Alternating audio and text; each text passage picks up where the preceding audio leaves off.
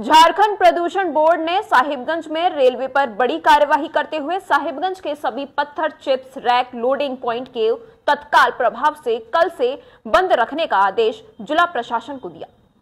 दरअसल बंद करने के आलोक में जिला प्रशासन ने रेलवे के स्थानीय अधिकारियों को निर्देश देते हुए सभी रैक लोडिंग पॉइंट को बंद रखने का आदेश दे दिया। जब तक रेलवे को सभी रैक लोडिंग पॉइंट के लिए झारखंड प्रदूषण नियंत्रण बोर्ड से सीटीओ निर्गत नहीं हो जाता, इस बात की जानकारी साहिबगंज डीसी रामनिवास यादव ने आज पत्रकारों को दी। डीसी रामनिवास यादव ने बताया कि पिछले दिनों अपर मुख्य सचिव फॉरेस्ट की अध्यक्षता में एक राज्य स्तरीय टीम साहिबगंज का दौरा किया था, जो ज़िले में हो रही माइनिंग क्रशिंग और रैक लोडिंग पॉइंट का निरीक्षण किया। इस कड़ी में टीम ने साहिबगंज माल गोदाम और मिर्ज़ा चौकी से संचालित रेलवे के रैक लोडिंग पॉइंट का जायजा लिया। टीम के जाँच में दोनों स्थानों पर रेलवे के पास सीटीओ नहीं पाया गया, जिसके बाद एसीएस फॉरेस्ट ने रेलवे को एनजीटी के सभी नियमों का पालन करते हुए अवगत कराने का निर्देश दिया था। जिसके बाद आज जिला प्रशासन ने इसकी सूचना रेलवे को देते हुए रैक लोडिंग बंद करने का निर्देश दिया।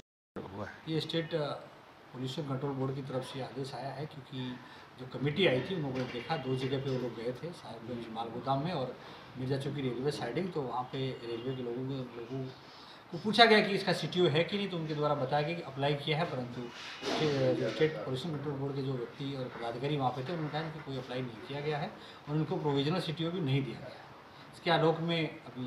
आज कल की डेट में एक आदेश हम लोग को मिला है इसमें कहा गया कि ज़िले में जितने भी रेलवे साइडिंग रूट से जिनको सिटी नहीं है उनको तत्काल प्रभाव से बंद कर सर प्रातः दर्पण न्यूज़ के लिए साहिबगंज झारखंड से अरविंद कुमार की रिपोर्ट